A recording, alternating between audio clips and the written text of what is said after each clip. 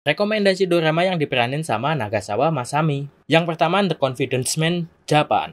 Dorama tentang tiga penipu ulung. Target penipuan mereka adalah orang-orang kaya, pebisnis, yakuza, dan lain-lain. Tentu saja target operasi mereka adalah orang-orang yang jahat, keji, dan tamak. Dua Toshi Densetsu no Ona. Dorama misteri yang setiap episodenya ada kaitannya sama urban legend. Dan Nagasawa Masami di sini ingin membuktikan kalau urban legend itu nyata, dan memaparkan bukti-buktinya. Tiga, Proposal Desaksen. Dorama yang sangat terkenal sekali dan lagunya itu sangat melekat banget. Cerita tentang penyesalan karena wanita yang dicintainya itu menikah dengan orang lain. Akhirnya cowok ini kembali ke masa lalu untuk mengubah kenyataan. 4. Dragon Zakura. Cerita seorang guru yang mengajar di kelas khusus dan menyiapkan 6 siswa bandel untuk masuk Todai. Nah, Nagasawa Masami ini ada di antara 6 siswa bandel tersebut. 5. Summer Nude Dorama romance di mana seorang cowok yang nggak berani menyatakan perasaannya. Dan di sini Nagasawa Masami